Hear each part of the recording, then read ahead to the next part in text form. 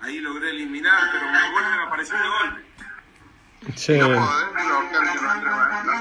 bloquear podés bloquear.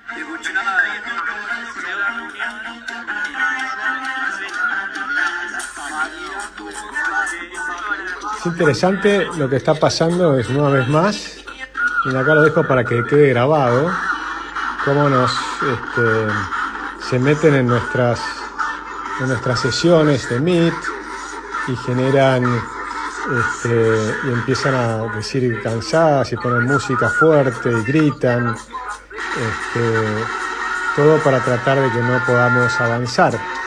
Así es que, eh, lo cual demuestra que están en un momento complicado de, de, digamos, eh, evidentemente empiezan a tener eh, miedo, ¿no? Ahí lo cerramos al, tema. Pero es interesante, ¿no? Porque de alguna manera demuestra que empiezan a tener miedo del avance de los liberales. Este, así que bueno, esta sesión se complicó, pero vamos a tratar de volver a empezarla en algún otro momento en el Meet. Parece que Meet ya no podemos usar, vamos a tener que usar Zoom otra herramienta que nos permita tener mayor control de la sesión, porque Meet es demasiado libre y, toda esta gente que, que empieza a, meterse.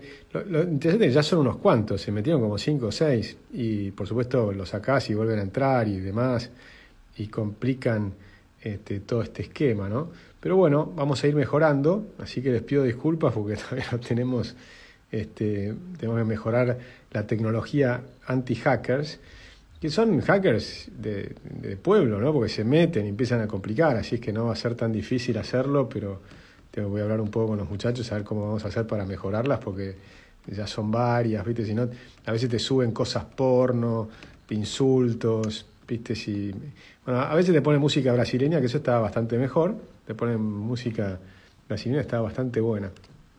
Pero después, este, la verdad es que complican bastante toda esta situación. Y a las 7 ya tengo el otro vivo, que se va a hacer con Pablo Bartés sobre el partido y sobre las listas sábana, que nos parece que es interesante ir leyendo. Este, pero bueno, vamos a ver si esto, cómo, cómo me dicen acá, si vamos a continuar o no. Pero me interesaba que por lo menos quede registrado esta situación este, y, y, de, y, y de a poco capaz que vamos a tener que ir excluyendo a esas personas, detectándolas. Y bueno, es una tarea que nos... Que nos... Entonces ve que algo estamos logrando, porque para que se tomen el trabajo de meter tanta gente a molestar, es porque estamos logrando cosas, ¿no? O sea que... Vamos, vamos mucho, por buen camino, así que... Vamos por buen camino. A mí mucho no me preocupa. Me parece que está bueno que se metan, que se compliquen, que se asusten. Ya, ya el otro día varios de la cámpora están diciendo, ojo con los liberales que están preparados, ¿viste? Se están diciendo... Sí, ya, ya están teniendo miedo, ¿verdad? Le están sí, sí, además dicen cosas interesantes, porque dicen, dice, ojo, che, cuídense, porque estos chicos no, no son no, no, son como otros, ¿no? Estos vienen, han estudiado, están estudiando, ¿viste? Entonces, les preocupa porque evidentemente no pueden lograr en los debates eh, sorprenderlos a, a, a, nuestros jóvenes liberales, ¿no? Que, que, claro, cuando le mostrás datos y le mostrás teoría y, y ¿cómo, cómo hacen, si el socialismo está destruido en todas partes y el liberalismo funciona bien en todas partes, entonces están tan complicados que lo único que les queda es, este, es tratar de hacer ruido, molestar, perseguir, bueno, lo que hacen ahora, ¿no? Sacar la policía a la calle, reprimir a la gente.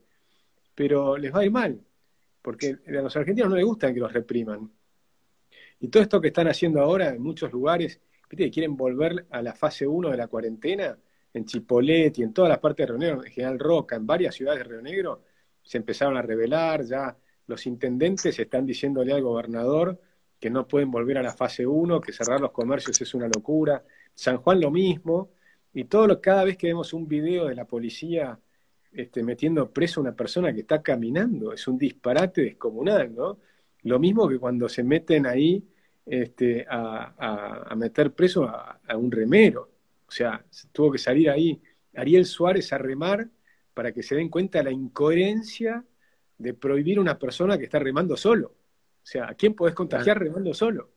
O sea, es tan absurdo Pero bueno, yo creo que todo eso demuestra la impotencia que tiene, ¿no? La impotencia porque no tienen ideas. No tiene ninguna idea productiva, no tiene nada para ofrecer a los argentinos.